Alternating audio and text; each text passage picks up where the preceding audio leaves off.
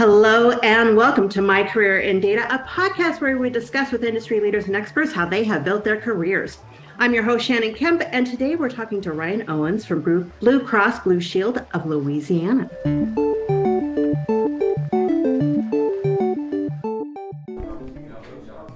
With a robust catalog of courses offered on demand and industry leading live online sessions throughout the year, the Dataversity Training Center is your launchpad for career success.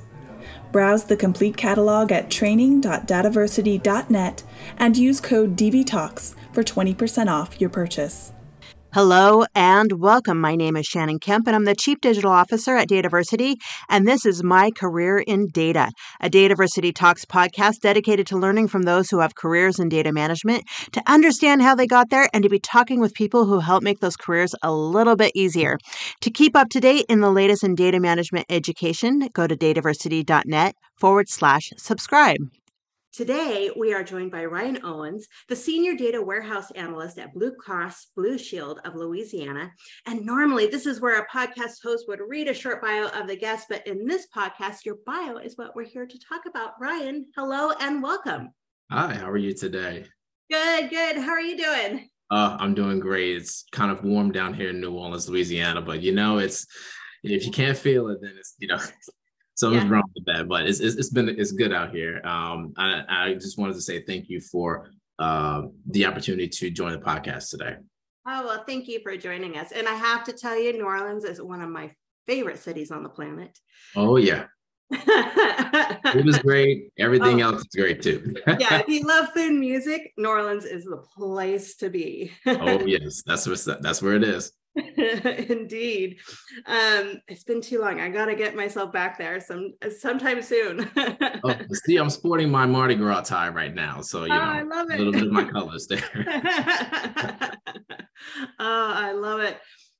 So you're the senior data warehouse analyst at Blue Cross Blue Shield of Louisiana. So tell me what, especially for people who may not know worldwide, what is Blue Cross Blue Shield of Louisiana? Yeah, so Blue Cross Blue Shield Louisiana is a health insurance company. Um, and we have about 3,000 so um, uh, employees. And uh, one of our uh, mission, our mission rather, is to to stay committed to improve the health and lives of Louis, Louisianians. yeah, it's kind of hard. It's kind of tongue twisted there too. Yeah, I, you know, it happens so much to all of us, and uh, oh, I, um, as much talking as I do publicly, uh, it happens to me all the time. Absolutely. and so, you know, and and in the United States, for people who don't know, um, health insurance is dictated by state. It's not a federal thing, right? Yes, so, absolutely. In, in Louisiana, um, the Blue Cross Blue Shield of Louisiana is one of those. So, um, you know, we have the association, and then it kind of by state, um, it trickles down to whoever you know, wants that.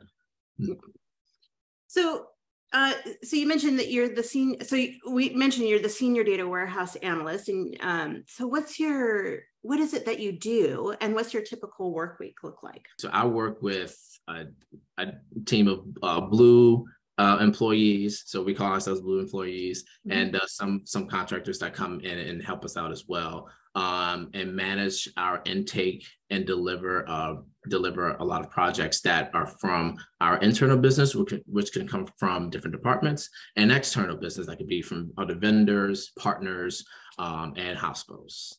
Um, and so we manage a lot of data that comes in, and we may have some bi-directional um, uh, deliverables, but I really try to uh, work with our extracts.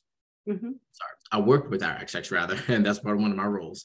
And um, we, uh, what we do is we get all the business requirements from those internal and external uh, uh, business business owners, and so I do my best to uh, deliver as much as I can and as quickly as I can uh, to those partners. Oh, very cool.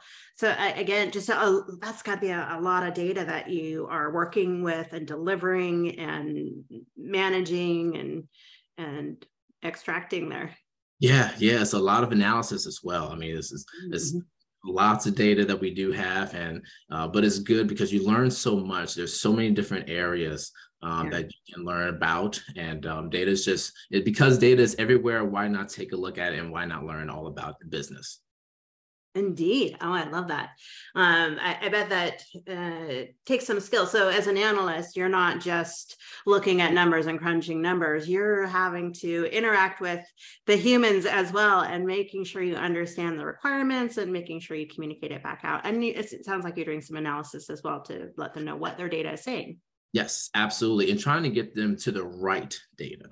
That's the main thing. You know, you can have, you know, you heard the garbage in, garbage out, but you really want to get everyone, get your uh, your business owners to the right data. Um, and especially those that will work with data, you want to make sure it's curated properly as well. And one of the reasons why I wanted to get into this uh, analyst role is because I love people, like you said. You know, I love to talk to people. Uh, before I came in um, uh, at, with a coding background, so I, you know, I had the software developing background, and yes, it was good for a while, but yeah. it was good for me to work more with people, um, speak more to people, not just the team, but also on an enterprise level. Think more of a, a leadership level. And once I've gotten to that point, and I was um, advised to look into these roles um, by many people, um, not just because of the personality, but because of the ideas and the vision that I, that I had for myself. I decided to take this role and um, see what I can do with it, see how I can make it my own, and see what I can own in this role. So let's back it up then. You, are talking a little bit about how you, um, why you wanted to get into this role. So let's let's back it way up. So yeah, so yeah. Ryan. So when you were you were just a little kid in, yeah. in, what we in the U.S. call the elementary school, was this oh. the dream? Did you did you want to like say when I grow up I want to be a senior data warehouse analyst? Oh man, or what uh, was the dream? well, shoot, I think that's that's a hard no, right? but the first thing uh, I know I wanted to work in technology, um, definitely in computers. Uh, I know that way back, you know, even when I was in my mom and dad's offices, whenever I would go to their offices, I would they would always have pinball. Uh, one of the little computer games up there, or solitaire, one of those first computer games up there. Um, you know, working on Windows 98. but oh, yeah. It, it, was, you know, I, I, want, I wanted to work in technology. Uh, I didn't know how far it would go. Mm-hmm. And even continuing, you know, from an elementary, you know, going into middle school and high school, you know, technology was always on my brain, looking at coding, maybe a little bit of database, some web design. I was all over the place. I never really knew where I could put my foot in and Mm-hmm. and have a, and be able to really enjoy that. And so once I got to college, if I can continue, you know, um, I didn't think I would like coding as much oh. because there were so many programming languages that I had to learn, and even mm-hmm. learning systems and learning database, and then going into cybersecurity is so many avenues, right? And um, I didn't see where I could fit in. So then at that point, I'm like, okay, let's just let's get this degree, let's figure out what we can do, and let's get a job. Um, let's you know, what was the degree? Yeah. Yeah. Oh, yeah. So my degree was in computer information systems. Oh, very uh, cool. Okay. Yes, and I con- concentrated in networking and a little bit of programming as well. So uh, it was it was all over the place, and of course, at my school at Univer- uh, uh, Northwestern State University, um, it was very interesting because it was split into three different majors. So all of my classes went to uh, in the in the business department. All my classes were from uh, business administration, mm-hmm. accounting, and um, computer information systems. So I had a mm. mix of all of those. Oh, yeah. It was kind of hard, but I was able to join all of that and see, okay, I can match all these to any kind of business right? And it's not just about a standardized, you know, business administration or standardized computer information systems. I can do so much with this because it's it's so uh, it varies, right? In the the roles and responsibilities and um, all the different majors that come about it. Anything you do outside of graduation, you can make your own, and hopefully something that you know will interest you later on. So once graduating, um, I got a job with um, a consulting firm and loved everything about it. You know, I didn't know that was it was really consulting. I thought it was just all technology. Uh, but then I had to learn how to interview. I remembered I had to interview with so many different, yeah, for so many roles. Mm-hmm. Um, and it got to my very last role. I was there for four years. And in my last role, um, I actually became a data uh, analyst and in a way a product owner. Mm-hmm. Um, and that sparked a little bit of data management. Uh-huh. It gave me a little taste of it. And I was learning a little bit about inf- Informatica and the software development side. And so when I left that consulting firm, I decided to go to Blue Cross Blue Shield uh, and take on a full time role as um, a software developer. And so that's where my taste of that life cycle, the data life cycle, really stuck in for me instead of doing so many different roles um, a little bit of programming, a little bit of this, a little bit of that. So I wanted to be, you know, stable in a role for a while. And so this that's where uh, Blue Cross Blue Shield Louisiana uh, gave me an opportunity, and I took took heed and went straight for it. And I love everything about it so far. I've been there for six years and three months now. wow! Congratulations! Oh, Thank I you. love that. So so you started as a software developer for them. Yes. yes. So then where how did you move then and transition and grow into the uh, senior data warehouse analyst yes absolutely so once uh once an opportunity came about uh for this role and um I think data governance opened up for me first. And so I kind of walked into the data governance role uh, as a, a, senior data, it was still a senior data warehouse analyst, but under data governance. Mm-hmm. And I loved everything about the role as well. I loved uh, meeting new uh, business owners, working with business owners, uh, analyzing data for them, solving problems, um, creating um, solutions, mm-hmm. and um, of course, trying to persuade in a way that I can build trust with them. And that was a major um, part of the role. I wanted to be able to build trust, and not just because of who I am um, and you know with the role that I'm in, but it's because of what I needed to do to make them aware that the right that they're getting the right data, that they're getting the things that they need to do for their job as well. So, with the advisement of some of the my peers, um, they also persuaded me to go ahead and take the opportunity to get into this role. Um, and I think about a year or so later, um, I kind of went into a, another side, even though I'm still the same the senior uh, data warehouse analyst. Um, I am now working with product management, and with product management, this is why this is where I now own the data extracts uh, for the enterprise. Oh, that makes a lot of sense. And that's so interesting that you first started under data governance because so many people um, and so many companies we hear, you know, pushback, you know, that data governance is a dirty word. We don't need data governance, and analysts don't touch data governance or have anything to do with data governance. But I love this that you have analysts um, within the data governance uh, office, so to speak. That yes. is that's great.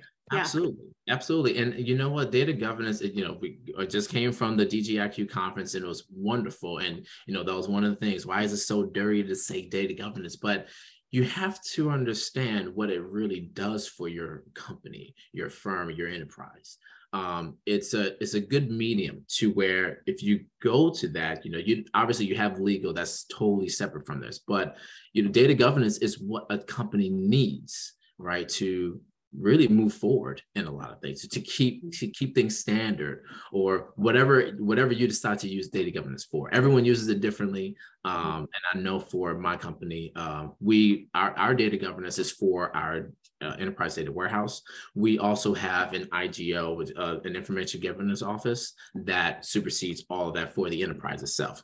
Um, but our data governance is for the enterprise data warehouse. We service that Oh, that's so. But we, yes, yeah. but we work we work directly with our information governance office.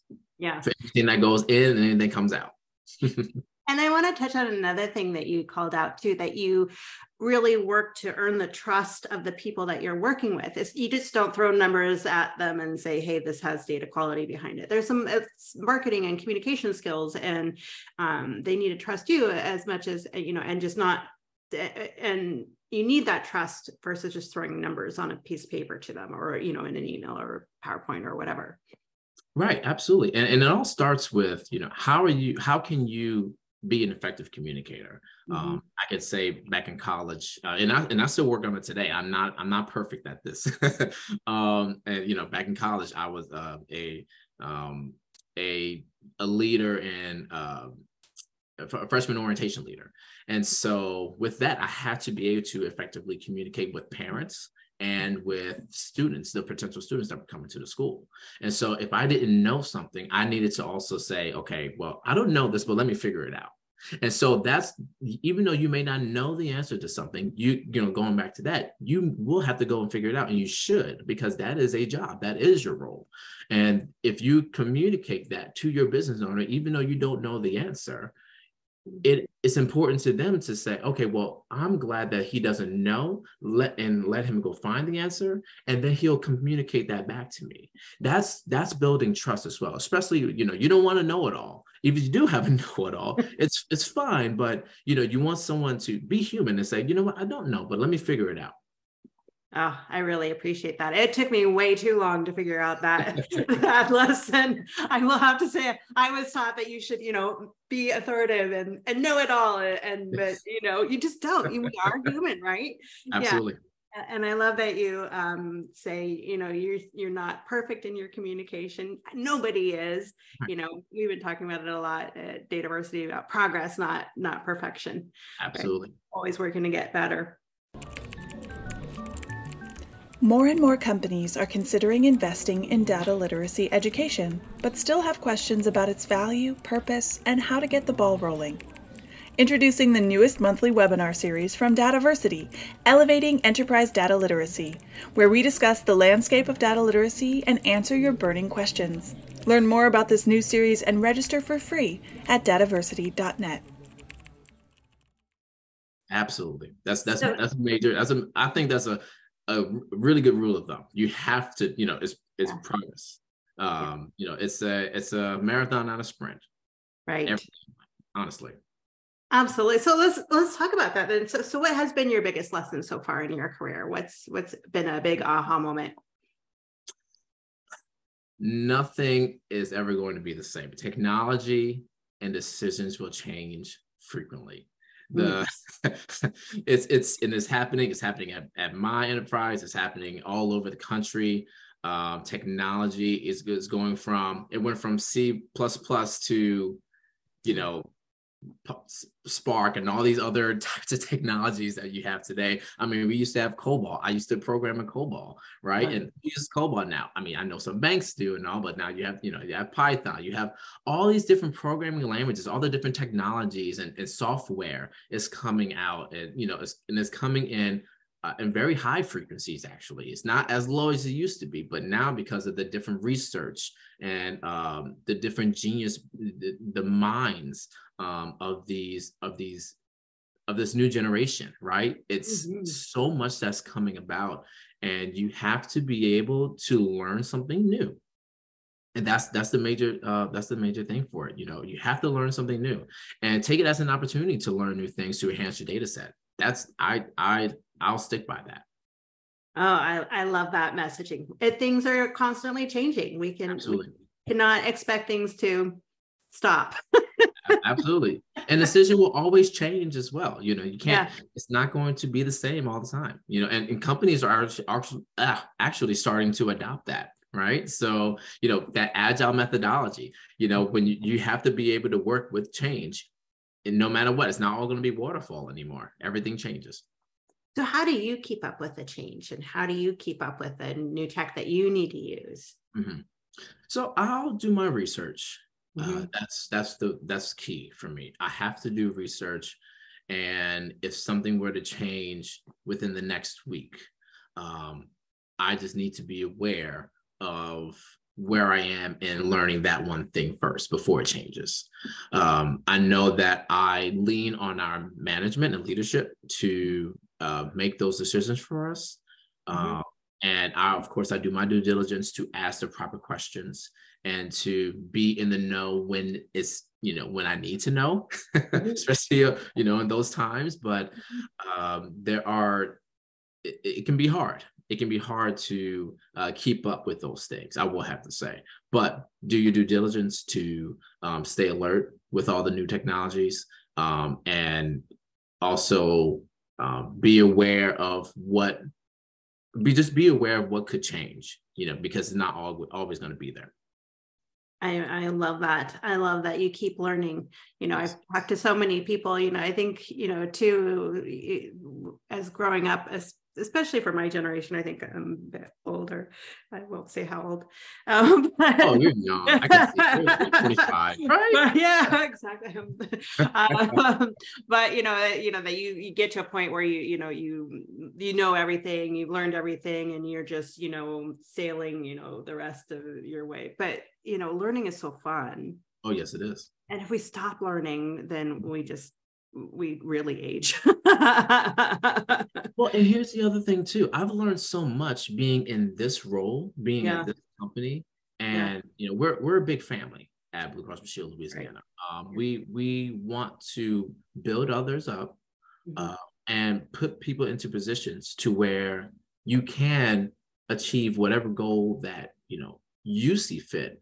And I love how our management and leaders uh, really take a look at us and and make sure that we are in the right place. Because if they see something that's not right with us they'll ask about it. You know we have a lot you know our one-on-ones that's that's key for our management uh, to have with their employees. And when they see that there's something not right or they see performance you know they want to make sure that their their employees are in the right spot you know are you sure you're okay? Is everything is everything good with this? How is everything with this project? How's this research going? You know they're they're really concerned with their employees and i and i absolutely love it and that's why i'm still here. You know i love everything about the role um, and the and the data that we that we collect and the, and the data that we um, um, are able to uh, put out for our business owners honestly and I learned so much from you know Dataversity and the conferences, and they wow. send us the conferences. That's what I really love too, because I learned from you know I network with you know not just the sponsors and not just the people that are um, that are participating, but those that are actually presenting you know, I network with them. I, I try to figure out what they're doing in their uh, companies so that maybe I can bring a little bit back to mine. But if we don't take it in, then maybe it's something that I can learn for myself to where eventually down the line it could. And if it does change and it does fit into what they want to do later on, then it will work. You know, I it's one of my favorite parts about uh, our community, the, the and the data management community is the networking and how much. I mean, I get inspired every day. Every webinar I present, I produce, and and conference I go to, just uh, I'm in awe of how kind and how um, giving people are of their time to each other, to learn from each other, and talk to each other and help support each other. It's just it's great. Uh, it's really very Absolutely. very cool. Absolutely. Mm-hmm. And of course, the destinations are great too. So, yeah, can't go wrong with San Diego. Sunny yeah, that's right. That's right. and I went to EDW World as well at like 2019 before it all. Mm. yeah. Was...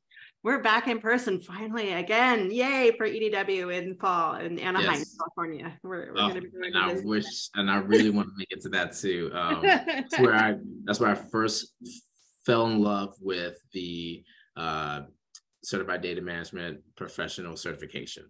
Oh, that's cool. Well, well, let's get into that here in a in a um, well, tell me about the certification first before I get into the next question. So, since you mentioned it, so you can just define it for those listeners. Yes, absolutely. So, the certified data management professional certification is uh, focused on data management. Um, all the, I believe, it's 14 forgive me, pillars of the uh, of, of, the of data management, the DAMA wheel, all of that. Um, if you don't know anything about it, you want to learn about it, I'm not sure if you can see it or not, but go ahead and get this this uh, the DMBOK uh, version two. It is a data management Bible, um, about 600 so pages worth of it, and it's amazing. Um, I love everything about the book, and um, I use some of it today. There you go. Yep, I, I use it. to plan this, but here's my copy. you have all of it. You got everything there. See, and I love how you have all your tags. It's oh, just, yeah. it's, it's, wonderful. Um, but the the test was uh, when I took it in 2019. That was the first time. You know, that was the first conference I've ever been to. Oh, uh-huh. Data management conference, and when I took the test the first time, I did not pass. And I was a little upset by it because I finally found something that mm-hmm. I felt that I could focus my career on. Mm-hmm. And I was about two years into Blue Cross Blue Shield Louisiana. So I was like, you know what? I need to really get this and focus and really uh, study hard for this exam because I had three three chances to do it. So um, those other two chances I did not get it. I did not pass it. But then last year I came to DGIQ and my main goal was to get this certification. I studied hard for the last uh, three years and tried to, you know, I wanted to wait because I know we had COVID. I tried it again while, you know, uh, virtually when I was at home and I didn't pass it then. But then when I got when I got to DGIQ last year, my goal was to get the certification. And the first day, first try, got it. Uh, yes. I was so excited. I was like relieved. I could relax for the rest of the day. My mind wasn't boggled with all the terms and uh, it was just it was too much. But I really, really love this book. I love everything about Dataversity, bringing this to life, partnering with DAMA, and and and making sure that you know they introduced the foundation of mm-hmm. data management to all of the participants and honestly to the world yeah. because i mean everyone needs to know about everyone knows about data but they don't know how to use it they don't know why it's it's all over the place but in order to organize the data you know these concepts these principles are extremely important for those to um, understand as they move on within their careers in data management for their companies Oh, that's some great advice. And and thank you. And so I'm gonna um since you work so much with data and now you're that you're certified congratulations yes. this is awesome. Um, so what is your definition of data? Yeah I, I struggle with that you know and i i would say it's, it's very simple right? The definition of data is information. You look at um, all of the information that you collect about, for instance, a person. My name is Ryan Owens. I have a social security number. I have a birth date. I have an address. I have all these um, uh, characteristics and things about myself. Um, and all of those things pertain to me. Um, and I, like I said, I know that this might be extremely simple, but it's really just information about something not just about a person but something you know how uh, you know what makes that thing happen? What what is it? And what, how can i organize it um, to make it something that i want to look for later? And i feel like that's what you know a, lot of our ceos and out of our, our higher leadership wants to look at data. Um, they don't know the you know what a an analyst really does with it um, they don't know what's really in a file but they want to see how they can turn this file into a dashboard to where they can really use that data it's all about how you can use it um, hmm. mm-hmm. you know that's that's what that's what you want because you can take a raw file with that has information about something um, but what can you do to use that data is I think where where it has to um, which goes to the next question of that. You know, what is data, but then how can you use it? Yeah. Oh, I love that a lot. Um, and and you work with data a lot. So and, and as have someone in a career at, data management, do you know, do you see the importance of data management and the number of jobs working with data increasing or decreasing over the next 10 years and why? I see it increasing. Mm-hmm. And here's and this is and the reason why I say that is because we have a lot of AI technology. All this is all this automation is coming into play. I love automation. I love making things easier, quicker, um, for you know a very simple task to do. Mm-hmm. But in order for and, and the reason why I say increase is because even though we have all of this, we still have to have people that understand it. Because if you don't understand the build of it, the background code of it, and technology even though with technology getting smarter and smarter even on its own learning you know these machine learning models all of this if you don't understand it then how can you manage it? Mm-hmm. and you have to be it because you don't want to you know we see all these um iRobot and all of that you know they're doing all the things for us but there's someone that really understands the model. Someone really understands how it's learning. And if you can if you can learn that skill set uh, you'll be able to manage those uh, automated technologies and that'll be extreme for that one or many individuals that get into data management now Oh, that makes so much sense. We've seen a lot of companies try to stand up um, machine learning and, and AI machine learning, especially, uh, and then and then suddenly realize, oh, we forgot the data prep. We need a data model. yeah, you have to start. You have to, you know, what's your foundation? How do you, how do you, you know, how do you look at things from a, um, you know, from a, hmm, how can I say this? You know, what is the, what is the peak? What is the high point um, of where you see something that's so little, like a, a, a small, small raw file go? You know, how do you see, you know, the the AI technology, um, and how can you manage that stuff? It's it's it's one of those things that I feel that you know a lot of people look at it from a surface, and they don't really understand the you know the the, the big picture later. So how can you look at from the big picture and then try to be able to manage that big picture, starting from that very small thing?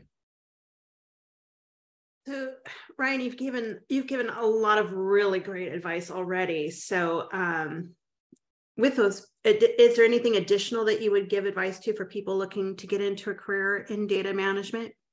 Yeah i'll just go back and reiterate you know just do your research. Mm-hmm. uh, there is there's so much out there to learn from. Um, there's so many books. A lot of people write many you know data management for dummies or any any any any type of you know data management or leadership related book to learn about your data because every company has data Mm-hmm. So why not be part of that? Why not be able to be part of something that you can manage, right? And not just be a software developer, because even with a software developer, you still have to manage data. You're transforming it um, into something that's more visible for uh, someone else. Mm-hmm. Um, you know, there are a lot of blogs, the working groups, um, and even um, programs that are out there that allow for you to learn um, about data management. So I would say continue to do your research and even try to network with those that are um, in different roles within your company um, or look for um, partnering, yeah, partnering um, uh, companies that do that as well. And just, just try to look into those roles and see what it is and how can you um, see yourself in that role one day. Ah, such good advice. Well, Ryan, uh, this has been such a pleasure. Thank you so much for taking the time to chat with us today. Oh, no, thank you so much for the opportunity. Um, thank you to Dataversity. Um, I enjoyed every bit of this, and I would love to be back again one day and hope to see you all soon at the next conference.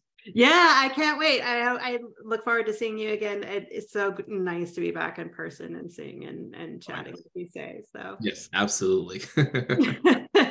and, say hi to New Orleans for me because you know again. I sure I, will. Hope to see you in Mardi Gras next year. Indeed. And to all of our listeners out there, if you'd like to keep up in to date in the latest podcast and the latest in data management education, you may go to dataversity.net forward slash subscribe. Until next time, and stay curious, people. Thank you for listening to Dataversity Talks, a podcast brought to you by Dataversity. Subscribe to our newsletter for podcast updates and information about our free educational webinars at dataversity.net forward slash subscribe.